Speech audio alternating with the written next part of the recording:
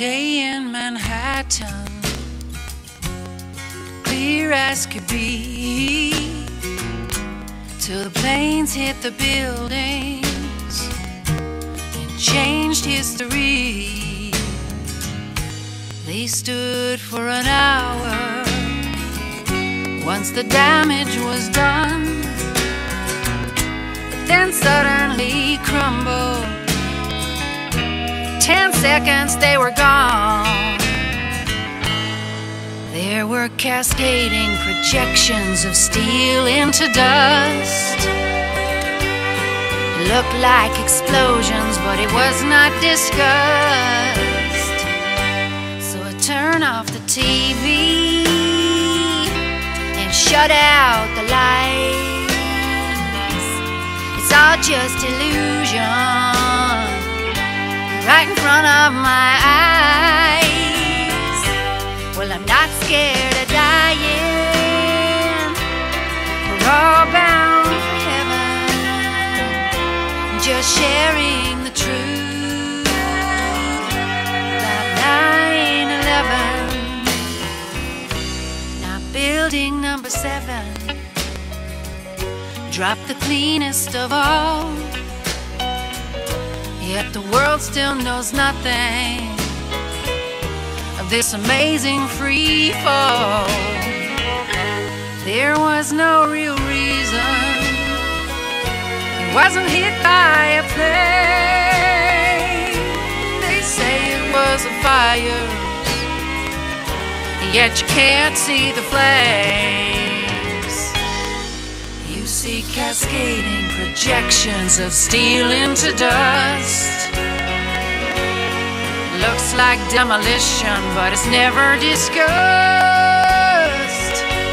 So turn off the TV and shut out the lights.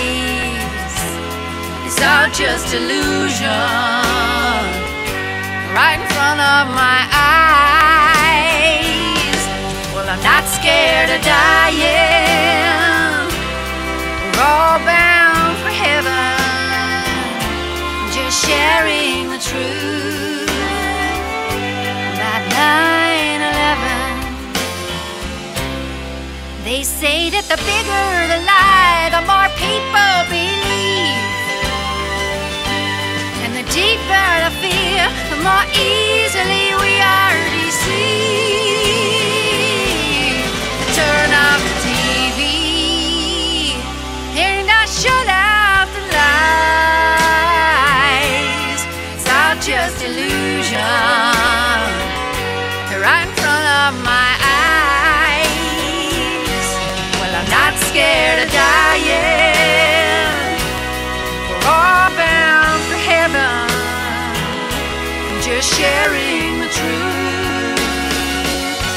About 9 11. Yes, I'm sharing the truth about 9 11.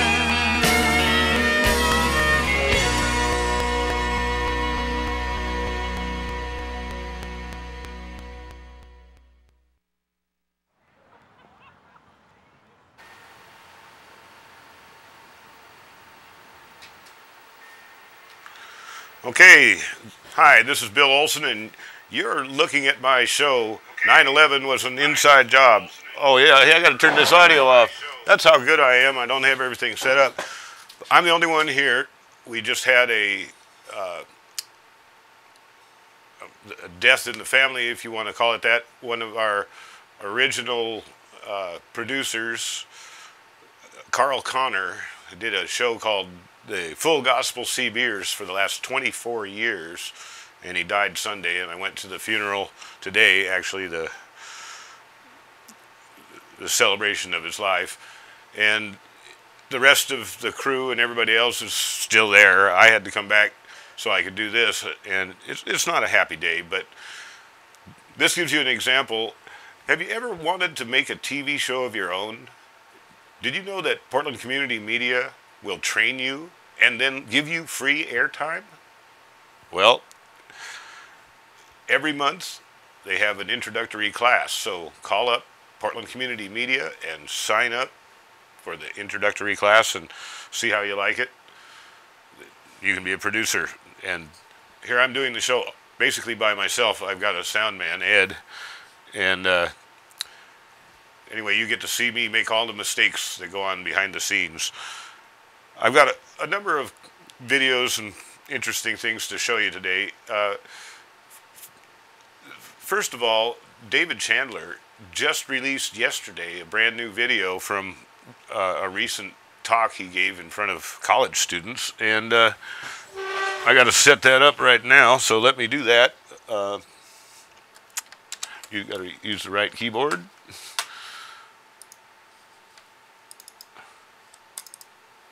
Here it comes. Let's see. Let me step up to the, the far enough ahead.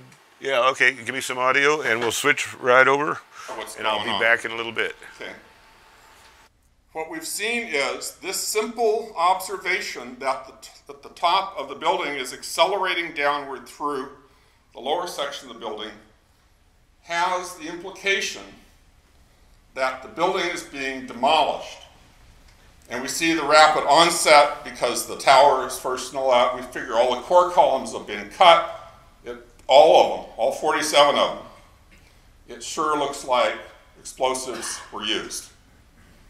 Now, if you have some indication that explosives were used, that would lead you then to look for evidence. Do we see evidence of explosives?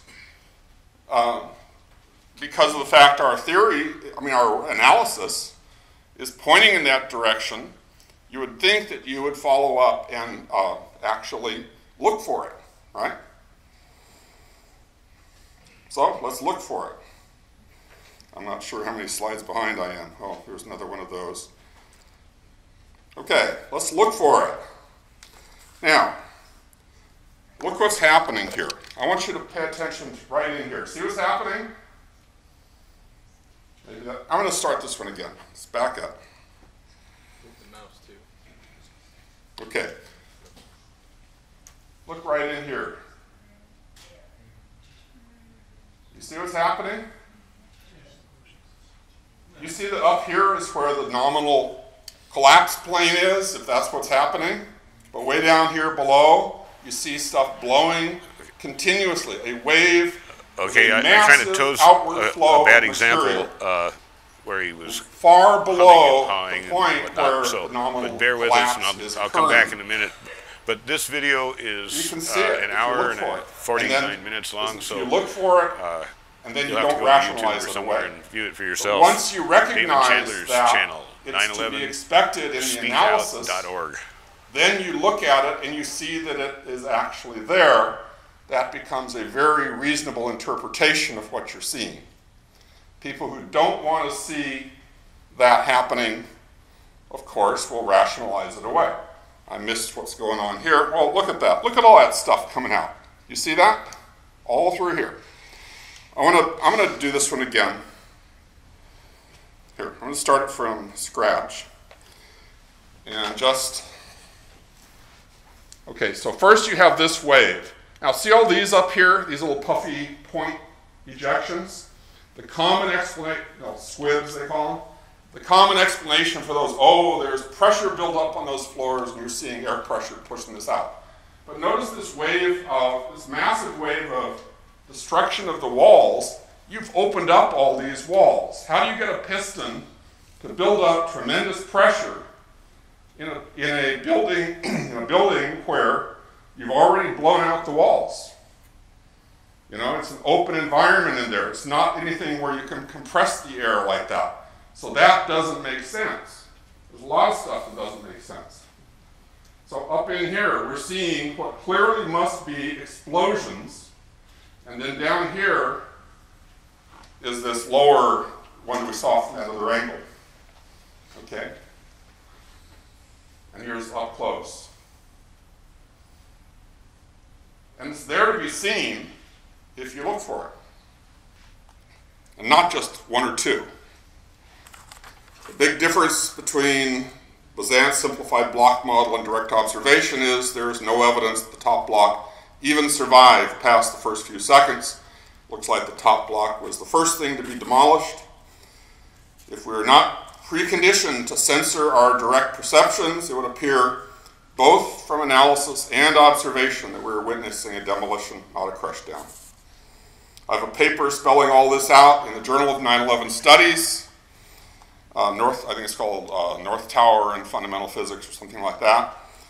Uh, I have, by the way, all of these papers, everything I'm going to mention tonight, I have links to them from my website, 911speakout.org. Uh, go there and do a lot of browsing. Okay.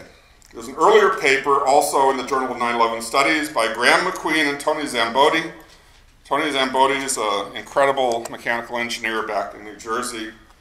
I've had the pleasure of working with him on some of this stuff. And they did an earlier paper that was from a more intuitive starting point, but they came, it's equally valid, and they come to the same conclusion. And it's, they call it, where's the jolt? Or the missing jolt. Like if you had something that hits something, when they hit, there's a jolt, right? It's sort of like the same thing as my F equals MA analysis here. That if this were actually colliding with the bottom section of the building, and inflicting some kind of a excess force like that, it would create a jolt. But you don't observe that jolt because it never happened. By not, talk, by not talking about the details of the collapse, this was a, I mean, my speculation, the reason they didn't want to even talk about it was they're trying to not lie in the sense of perjury. They don't want to get caught up in court having told blatant lies. So when they get to the point here and elsewhere, I'm hopefully illustrate somewhere else in the paper here. When they get to the point where they pretty much have to lie, what they do is they talk gibberish. I'm not kidding. They use concepts that make no sense. It's very hard to parse what it is they're saying, and I'll give you another illustration of that later on. Here, what they did was they just didn't go there. They said, as soon as they, as soon as they have this wall going in, they say, aha, there's a failure. It must mean there's a failure of the cores.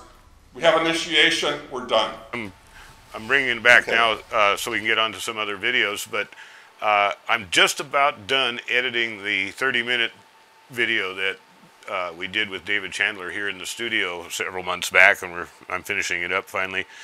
It's amazing how much detail work it takes when you actually do it, not live like we're doing here. But uh, so keep your eye out for that. And uh, like last week, I introduced you to Dr. Steve Pieczenik's website, drstevetalks.com. Yeah, .com. And uh, now I'm going to introduce you to Michael Parenti. I don't know if you've ever heard of him, but he's a historian, and economist, uh, uh, well, uh, basically a, a rational socialist. You, you need to. I agree with just about everything he says, and I wish that it was a more common dialogue. I'll let you judge for yourself, but let me uh, bring up this video here. I just happen to have it ready. This is from a, a video called um, the the one percent mythology and the and the uh, the myth of capitalism. Okay, so let me let me go ahead and start this up. Oh wait wait a minute, this is the wrong one. That's the one that echoes. This one is a little earlier one, and we'll have this thing here on the screen. So let me start it. It's up here at five minutes. Sorry, but this is what happens when you don't have a crew. Okay, I think that should be going about right. Go, go Value ahead. added. Bring up the The, sound. the technical term actually is added value, value added in manufacture. And they will talk about you invest a dollar in Ohio, you get a value added of three dollars. You invested in Indonesia, you get a value added of, of eleven dollars. So let's move to Indonesia uh, for the jobs, the cheaper and such. this is what this is how the slave owner could live in such opulence He had slaves who worked and produced this opulence for him and consumed very little of it. This is how the Lord of the manor could live in such opulence. He had serfs who worked and toiled hard for him and consumed but a small portion of it while the rest went to him. And this is the way the plutocrat and the corporate private capitalist investor also gets wealthy by underpaying workers. What I'm, what I'm suggesting is that great wealth creates poverty. It creates poverty. As wealth has grown, so has poverty. The number of people living in poverty today is growing at a faster rate than the world's population, even, even as the number of billionaires is growing at a dramatic rate also. And it's not just poverty. You don't have to be below the poverty level to feel the effects to experience the stress and scarcity of a ruthlessly profit driven corporate economy. You can be a normal working person, even someone with a fairly decent income, and there still could be cutbacks in pay, speed ups, loss of seniority, loss of benefits, including health insurance, temporary unemployment from downsizing, long term unemployment, runaway housing costs, involuntary job relocations, and the like, and on and on. You could add your own list. In the last 30 years in the United States, ladies and gentlemen, there has been a remarkable growth in technological productivity and a remarkable creation of material wealth. Yet wages and salaries have remained flat and sh- have shown only a slight growth. So the gap between capital and labor is increasing. Economic inequality has increased considerably since 1978. Now, this picture of competitive inequality, wealth creating poverty, is seriously, hugely at variance with the accepted ideology of capitalism, which says that as the pie gets bigger, we all get a bigger slice. One of those great, one of the great theorists of modern capitalism, um, one of the great minds in the American mainstream media, Rush Limbaugh, said, said, it isn't zero sum, it's more for all of us. And he repeated that old axiom that you hear a rising tide lifts all boats. What do you know Parenti's axiom? It is a rising tide drowns many people. It is zero sum. It is. More for the landlords means less disposable income for the renters. More for the owners means less for the workers. And conversely, the other way around. More for the worker means less for the owner. If I, as an owner, has to spend money on stupid, ridiculous things like wage increases, occupational safety, environmental protection, pensions, the more I have to spend on those kind of things, every dollar I got to spend on that is one less dollar for me. It is so zero sum. Oh man, do they think zero sum all the time. All of this is also at variance with the established ideology that capitalism creates prosperity, not poverty. Look at North America. Look at capitalist North America. Look at the remarkable prosperity. Look at the remarkable prosperity of capitalist Western Europe. The capitalist countries are the prosperous ones. Uh huh. That's a very selective view of capitalism, isn't it? Could I invite you to look at capitalist countries? Look at capitalist Nigeria and capitalist Mexico and capitalist Philippines and capitalist Thailand, El Salvador, Bolivia, and go on with another hundred or so countries where children live in disease and illiteracy and poverty and malnutrition. Those are capitalist countries. They're never thought of or discussed in that way. But they are really pure capitalist countries. They're capitalist countries where democracy has not made any inroads in the class struggle to speak of. Most of the world is capitalist and getting more capitalist, and most of the world is poor and getting poorer. The third world is not underdeveloped, it's overexploited. It's underdevelopment. Its underdevelopment and immense poverty in shanty towns are not an original historical condition. These people know how to fish. They don't need you to come in with your technical advice. They need access to the shorelines and they need webs and they need nets and, and boats to fish. They know how to farm. They need land. They know how to work. They need workable, decent paying jobs. Let's return to the U.S. Who are the wealthy in the United States? Well, we hear it's the top 20%. The top quintile, the wealthiest quintile, or the top 20%, the top fifth, are the wealthy. Whenever they discuss these things and they say incomes are getting more unequal because 20 years ago, the top fifth was making 12 times more than the bottom fifth. And now the top fifth is making 14 times more than the bottom fifth. Well, let's stop playing with those kind of silly statistics, okay?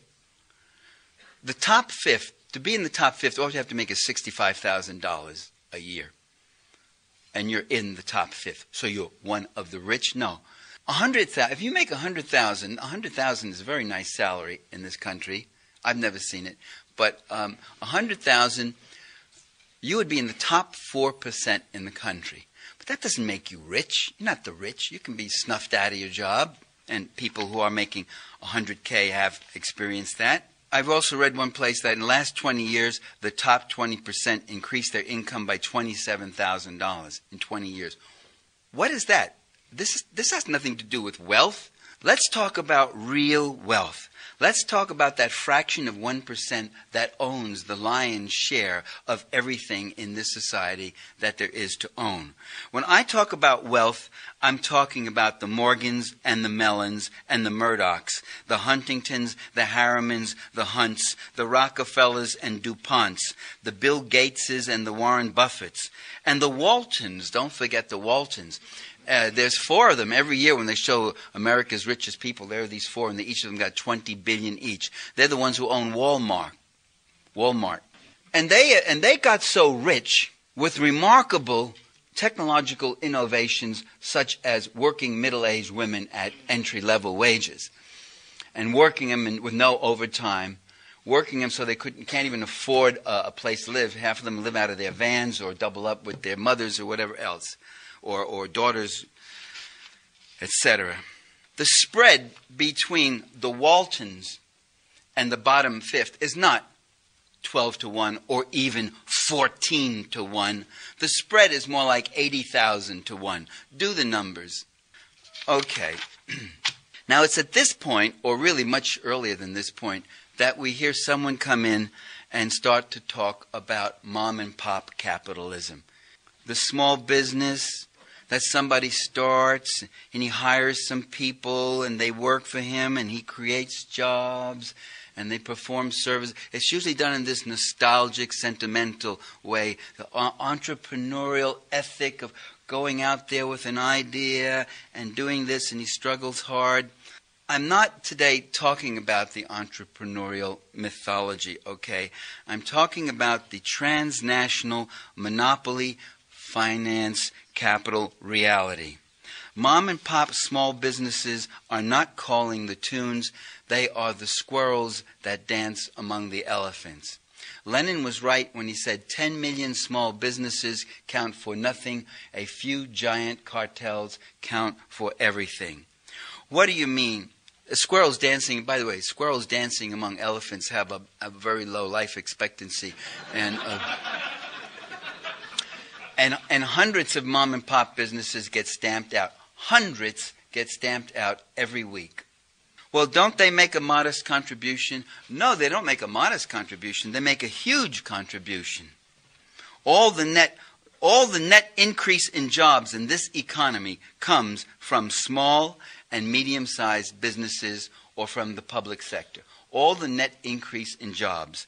The net increase in new jobs, the net growth, the net growth in jobs after you count for downsizing, outsourcing, layoffing, hiring new people, opening a factory here but closing one there, and all. The net increase contributed by corporate America is zero. Zilch. Nada. Let's let's look at the Waltons again. What is it what is the imperative that propels wealthy individuals I mean, multi billionaires we're talking about, and their wealthy corporate financial organizations. What is it? What is it that makes Sammy run? It's the desire, the dedication, nay, even the necessity to accumulate still more wealth. As Marx said in Volume 1 accumulate, accumulate, accumulate. You got to get more. Why? Why would people who have billions of dollars, who have more money than they know what to do with, who have more money than they could spend in utter opulence and luxury in 10 lifetimes, why do they go out there to make still more as if their crust of bread depended on it? There are several reasons, I think. First, I really do believe that wealth is addictive, that the haves become the have mores, and the have mores want to become the have it alls. There's only one thing that every plutocratic class in every society throughout history has ever wanted, and that's everything. All the best herds, all the best lands, all the best resources, all the civilities and comforts and services of civil society while paying none of the costs. They want it all. They have a lot, they can get more, and they want it all. So, this is the way it goes fortune whets the appetite for more fortune. You can't take it with you, but in a way you can. There was a corny comedian back in the 50s, very popular then, TV comedian named Milton Berle. Many of you, many, I can see many of the students here have never, never seen Milton Berle. You've never seen Milton Berle perform. Consider yourself lucky. But, um, but he did say one thing which I thought was is very apropos. He once one of his jokes was he says, "If I can't take it with me, I'm not going." And, and, there's, and there's something of the psychology in this, in, in, in, the very, in, the very, in the very rich plutocrats. The thought of breaking up your estate, for instance, breaking up your estate into four smaller parts to give to your four children, is just more than you can bear. You build this empire. Estates are things that you add to, you don't subtract and cut them up. You build this empire. You want it to be kept together. Not only that, it's dangerous for the family's standing and the family's name to break it up into smaller estates and little and little things. So for its standing, this estate has to stand. And so the, there was this curious invention called primogeniture, where everything, all the family fortune and wealth, was given to the oldest son. And the younger sons had to make do with uh, top echelon appointments in the church or the government or the military. And the daughters, hopefully, they could marry well or be sent off to the nunnery. So, in a way, you are keeping all this wealth. You're not, not quite taking it with you, but you are immortalizing it to secure the family name and fortune, though not necessarily the well being of all family members. Another reason for relentless accumulation is less psychological and more systemic, and it has to do with the corporate capitalist system itself which requires constant expansion, even in a monopolistic uh, oligopoly with a few corporate giants that dominate a field. And, and, mergers are the rule. And you know, today you see, we see now mergers. You don't see a giant corporation swallowing up smaller companies. You see giant corporations swallowing another giant corporation. I mean, Chevron and Texaco and, you know, Unocal and Union Carbide. I mean, huge things cannibalizing each other. So even in this monopolistic corporate cartel capitalism, it's a constantly insecure and indeterminate field. Markets change, new competitors with new technologies enter the fray, investments backfire. To remain in one place, to remain with one segment of the market, is to lose ground, not just competitively, but eventually absolutely. Those companies in New England that stayed purely regional, nobody remembers their names today for the most part, unless it's a, a, a particular service industry that's fixed in a particular region for certain, for certain reasons. Another reason for accumulation is that wealth, even great wealth, is never totally or absolutely secure. How do you protect what you have from the following kinds of dangers? Wealth can get expropriated, it can get plundered by competing forces, by revolution, insurrection, invasion, looting, it could be lost through devaluation or failure to reify or realize its value. What if all my money is in Confederate bonds? and the Confederacy loses the Civil War, there were people this happened to. A whole class, in effect, was snuffed out, although they actually kept control of most of their land. But they lost immense amounts of capital. This capital happened to be in the form of human beings. Hundreds of millions of dollars in capital uh, with the emancipation of slaves. Also, remember the key instrument to finance capital is money. I was taught in school that money is a medium of exchange, and that has a very nice, neutral sounding tone to it. Money can be used for good, it can be used for bad. You can use it to build a hospital or bribe an official or, uh, or, or bomb a village. But money, historically in class society, becomes a means of abstracting and mobilizing and accumulating wealth. It gives fluidity and and abstraction and mobility to wealth. In the olden days, when wealth consisted principally of land and castles and crops and herds and furs and maybe some gold cups and silver plates or whatever else, you could accumulate just so much. But abstracted from material wealth, money becomes a powerful tool for accumulation. So, in the world of rich and poor, there's nothing neutral about money. Money is an invention for the rich it doesn't serve the poor. It's the same kind of same kind of gibberish you hear about technology. Technology is a neutral thing. Technology could be used for good or it could be used for bad. No, but technology is created and formed in a social context, in a class structural context. And most of the technology that we see being developed is for the powers that be. In fact, government government technology, when you think about it, almost all of it is for surveillance, communication, and destruction and control. That's that, pretty much what the government involved. In. I mean, the government doesn't invent egg beaters or, or you know useful things like that, does it? Uh, so wealth can take a, a, liquid abstract form through money, financial capital in general. Uh, it, it, be, it ta- assumes this liquid form, if we if we would. Material wealth takes an immaterial form. It's a kind of odd development. Let me give you an example. Let's say you have $5,000 in the bank or $5 million in the bank. Um, the, these are, you, the money isn't really there. I mean, that money isn't there. What, what you have is some numbers on an account. It's been abstracted. Um, that money's gone elsewhere. The bank would only take your money only if it can get rid of it, that is, lend it out to someone else at a larger interest than it's paying you. You have bonds. Well, look at your bonds a little more closely. Take one of your bonds and go down to the supermarket and see what you could buy with it. Nobody will take your bonds. Nobody will honor your bond. Your bonds are IOUs. That's what they are from somebody. If a disaster was to hit our society, seriously damaging its productive facilities and killing many people who are the real source of wealth with their labor and such, and the, and the environment with its resources, the money you have recedes into its present material form, namely numbers in an account. I mean, literally, its material form, which is an immaterial thing. Numbers, abstracted numbers. So you need constantly to have productive forces and market. Okay, you know, it's really refreshing to hear a description that does not conflict with your own experience. So often they tell you stories that, you know, no matter how you twist and turn it, it does not fit. You just have to acquit. Oh, sorry for you. History, history buffs will know what that reference was. Well, anyway, um, we got. Uh, I don't remember if for sure if I played the uh, winning entry and the runner-ups for the Alex Jones make fun of the TSA contest.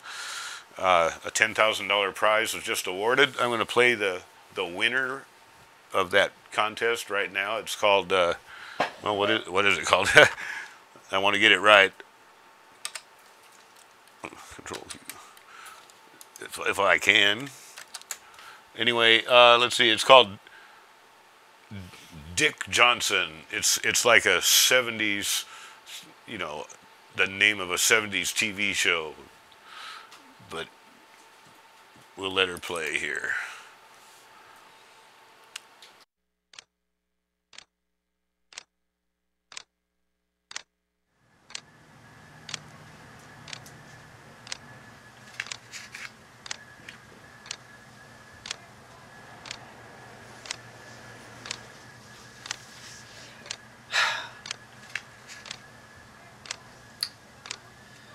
Now, Mrs. Johnson, there's really no easy way to put this.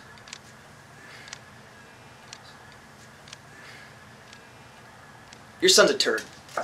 He cheats, he lies, he steals, he's failing all his classes.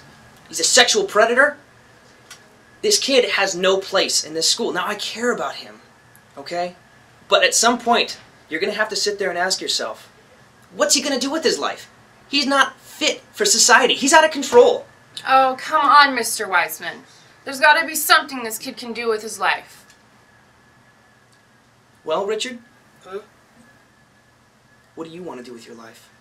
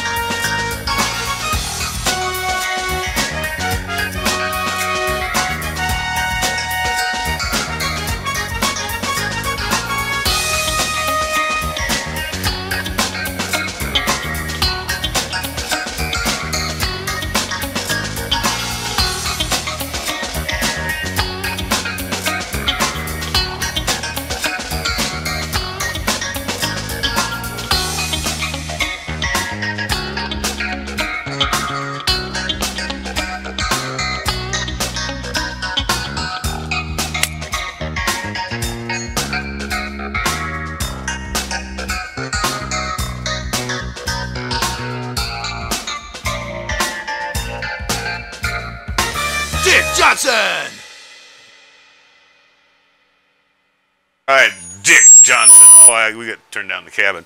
Yeah, we got feedback when we're controlling the audio where we're generating it and listening to it at the same time.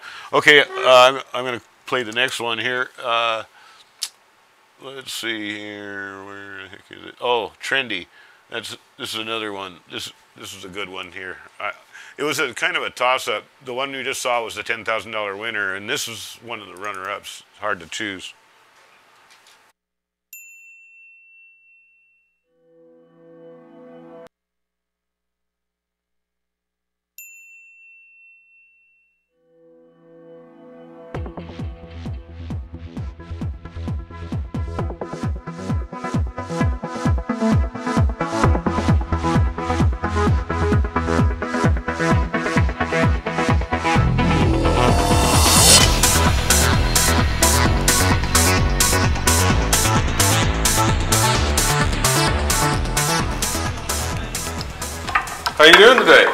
We'll ask the questions around here, Mr. Domestic Terrorist. Hey, Do you own any guns? yes. Racist. That is so racist. FEMA camp. What, so I can't go through then? Oh, no, no. We want you to go through. Yeah, we got a x-ray and a pat down waiting for you. Hey, this is against the Fourth Amendment. No, it isn't. No, it's not because Al Qaeda might be hiding up your butt. We gotta search. We gotta search your racist butt. We gotta search. It's for your safety, racist. You're just lucky that we haven't installed our detention pods at this here airport yet, or we would capture your racist Al Qaeda hiding domestic terrorist butt. Pat down. Have a nice flight. Hey, hey.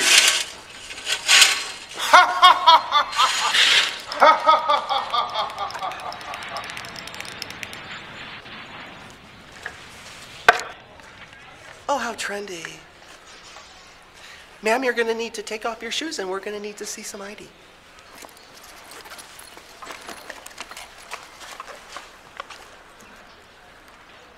I I forgot my ID. I'm sorry. I, I is there anything? Oh, ma'am, I'm afraid we're going to need to see some ID. I, uh, just beat me. I, just beat me hard. I worship your authority. You know, during the economic collapse, I don't think you're to make it. Okay? Okay. Jellyfish. Have a nice flight.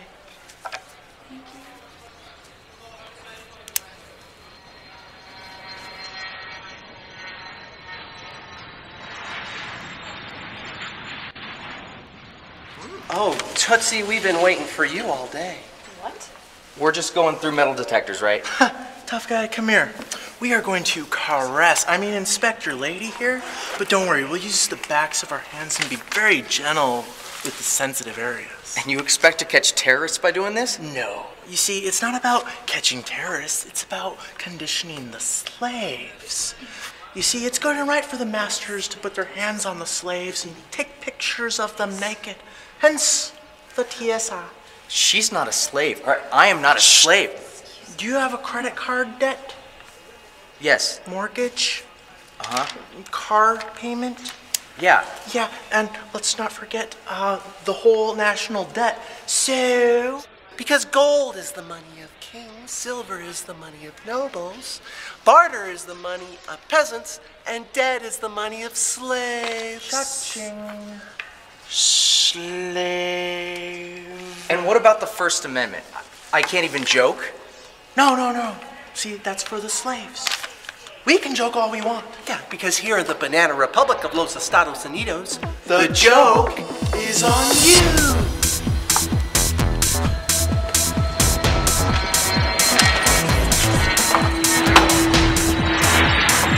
Yeah, yeah. Pat down.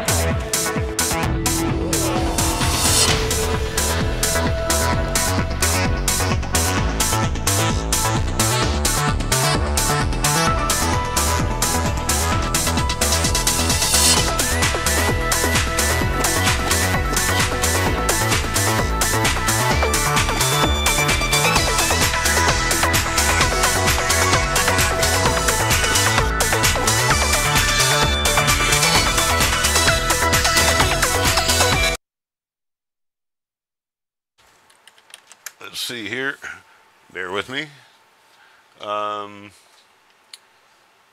let's see if I can find it. Here we go. This one's called The TSA is Now Hiring. By the way, I've used that line many times on the blogs on YouTube when some idiot is just being an oppressive bastard, you know. Excuse my language, but I won't change. Here we go.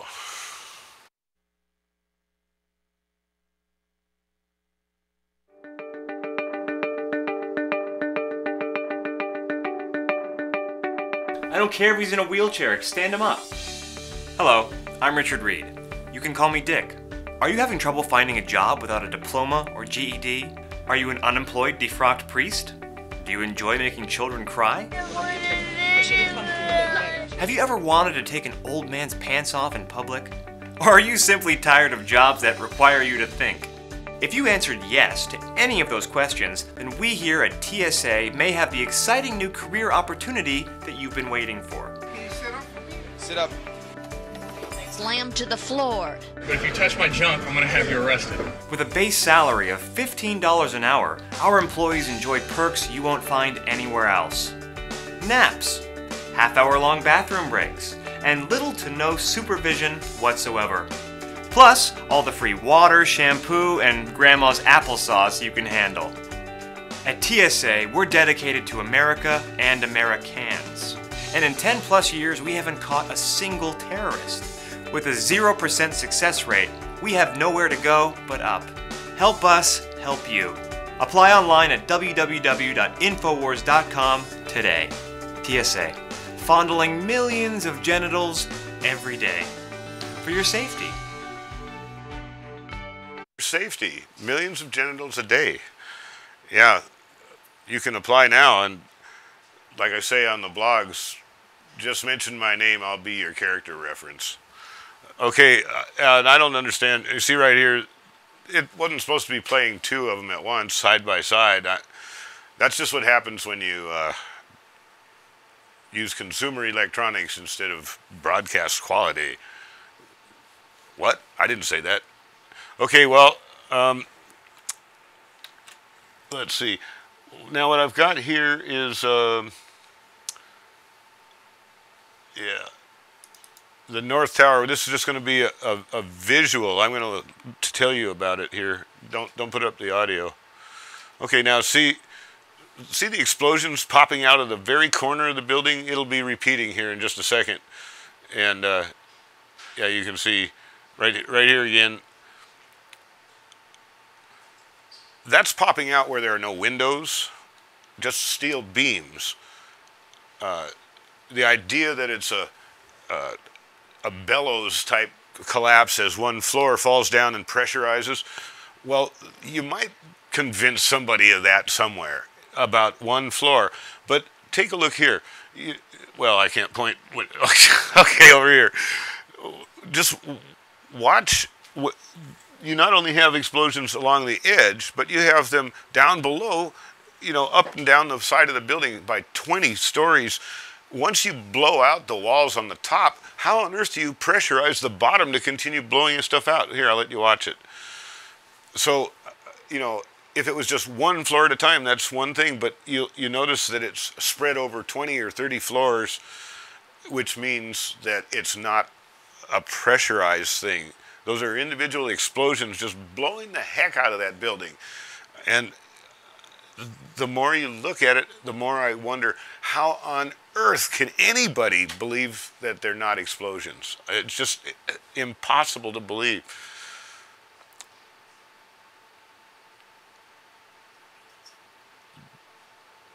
This is from, well, as you saw the David Chandler video, uh, he put several, this is from his uh, DVD, the analysis DVD uh, that he made for architects and engineers for 9-11 Truth. Well, let's see, we got 10 minutes left. Maybe I can find something worth doing here.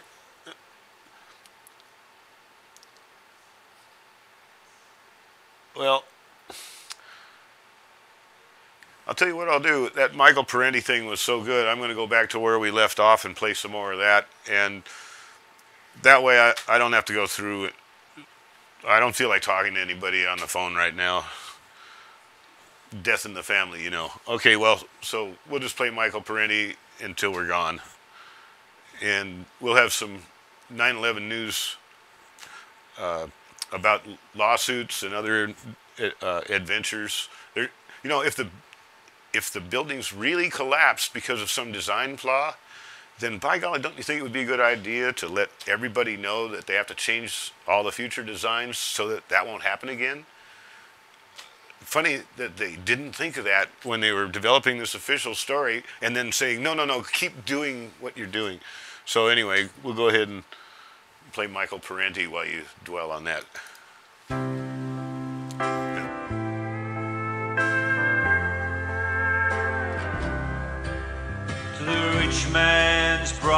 Lodge. We had children not going to school, hardly any public education to speak of, public services.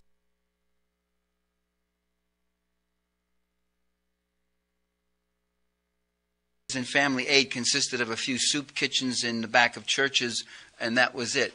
It took a century of struggle to get us to the point where, where, where we live at a somewhat better level. A century of democratic struggle reining in and containing the forces of free market plutocracy. This same free market plutocracy, by the way, isn't so free market when it comes to themselves. While they preach to you the virtues of self reliance, Stop going to the government for a handout. Rely on yourself and your own efforts. They themselves got their hands in the public treasury, right? I mean, they've got their arms right up to their elbows in the public treasury. They themselves get equity subsidies from the federal government. They get loan guarantees. They get export subsidies. They get research and development assistance. They get production loss compensations. They get bailouts. Only for the giants. Mom and pop does, doesn't get bailed out. If you got your little business and you go under, you go under. Goodbye. But if you're Chrysler Corporation, remember when Chrysler got bailed out in the 70s? Lee Iacocca, remember, remember that? Lee Iacocca, what a corporate genius. Oh, they'd be on the cover of Time magazine. Oh, Lee Iacocca took Chrysler, it was at the edge of going over, and he brought it back. He didn't bring it back. I know who brought Chrysler back. I'm looking at the people who brought Chrysler back right now. The U.S. taxpayers, that's who brought it back. He got all these Pentagon contracts and he started making tanks for the Pentagon and this for the Pentagon. Cut back, the unions had to swallow all the losses, take all the pain, and that's how he, he made Chrysler solvent again. And he was, he was applauded as some kind of a genius. Public sector services are not something that the plutocrats like. Public sector services create jobs, they bring in revenues, they serve human needs, they carry out productive tasks, and yet the plutocracy doesn't make a penny in profit. They are not for profit services. Not for profit should be, uh, should be forbidden, uh, if the, as the plutocrats would see it. The plutocrats are also good at stepping all over those who can't defend themselves the low income, the disabled. And another thing that can't defend itself is the environment. And they're really good at uh, plundering the environment. In fact, these guys believe that whatever is left of our natural resources are theirs to have when they want, to do what they want with it, to maximize their profits on terms that they define. Okay, when this wealth goes abroad, and when you begin to take over other countries, and you begin to put these countries under a kind of receivership, and you begin to talk about regime change, and you begin to talk about the need to build uh, institutions and teach these lesser peoples the, the blessings of democracy and such. I mean, in Iraq, Iraq had a democratic revolution in 1958 and they nationalized their oil industry and they were starting all sorts of wonderful democratic programs. They didn't need they don't need any they don't need any guidance in how to and, and how to how to self govern. What's left out is that the U.S. and the CIA, backing Saddam Hussein, went in there and destroyed. Saddam Hussein went in there and tortured and murdered or drove into exile or underground every Democrat, every communist, every progressive, every reformer, every constitutionalist that it lived in Iraq. And when he was doing those things in his worst years, in his worst years, he was Washington's poster boy. They loved him. They couldn't do enough for him. It's only when he got out of line on the oil prices, it's only when he didn't hand all that oil back over to the British and uh, U.S. companies that the 58 revolution had kicked out. It's only when he started self developing and training cadres of Iraqi engineers and talking about Iraq for the Iraqis and Iraq developed the highest standard of living in the Middle East, that's when they went after him. He was a bad example. So, this empire that we build, this empire feeds off the republic, as all empires do. And you can see that today. I go all around this country lecturing just in the past five or six months. I must tell you, when I pick up the local newspapers, it often looks like I'm in the same place. Every place has the same story. City council, uh, city council facing budget cuts. State with a heavy debt. Blah blah blah. Cuts, cuts, cuts. Services being cut back. This, that, and the other thing. The republic has to do with less, so that the empire can uh, uh, feed itself. Two hundred eighty billion dollars for Iraq and for Halliburton and Bechtel and the and the seventy other companies that are there. Uh, uh much of that money unaccountable, unsupervised, and meanwhile, drastic cuts here. So the, uh, the center bleeds while the periphery expands. Athens is starved so that Sparta can, can glisten with its swords in the sun. But there exists not only class oppression, but class struggle. The many fight back against the few. Democracy Democracy, ladies and gentlemen, brothers and sisters, democracy is a wonderful invention by the people of history to defend themselves against the abuses of wealth. That's what democracy was in ancient Athens. That's what democracy was in the Roman Republic. In my book, The Assassination of Julius Caesar, I talk about the constant struggle that went on between the tribal assemblies and popular leaders like the Gracchi and Caesar and these people as against the aristocrats in the Roman Senate. Uh, a constant struggle that went on. It was democracy against plutocracy. The many fight back against the few. George Bush summed it up in his inimitable way. He said, It sure would be a lot easier to govern if this was a dictatorship. Unquote. Oh, from the mouths of babes come utterances of truth. But democracy is more than its electoral and representational procedures. It also has a substance and a content. People just don't fight for the vote as an abstraction. They fight for the vote because they want something. When white male workers in the 1820s fought to get franchise and fought to get rid of property qualifications, they weren't doing this simply because their civics lessons in school told them it's good to vote and you'd be a better citizen. They didn't go to school. They didn't hear that kind of stuff. They fought for it because they wanted a better living wage. To get a better living wage, they needed to develop combinations, as they were called then, or what we would call unions. To get the unions, they had to change the laws that made such combinations illegal. To change those laws, they had to change the office holders. To change the office holders, they had to get at the state that was on their neck. They had to get into that political process. To get into that political process, they had to change the rules that were excluding them from that process. And that's the same struggle that African Americans went through. It's the same struggle that women went through. When women started their movements in the 19th century for the, for the franchise, it wasn't some gender ego which said, you men have the vote, so we should have the vote. It wasn't abstracted. It was in a social context where women couldn't own property, where women were, were, consigned to the worst, lowest, rotten paying jobs where they had no protections of person, where they had all sorts of struggles. You know what those struggles are because many of them are still going on right to this day. But so the fight, the expansion for, of procedural democracy is also part of the fight for substantive democracy. It's not only should be government by the people, it should be government for the people. The payoffs, the end policy. What's the good of us electing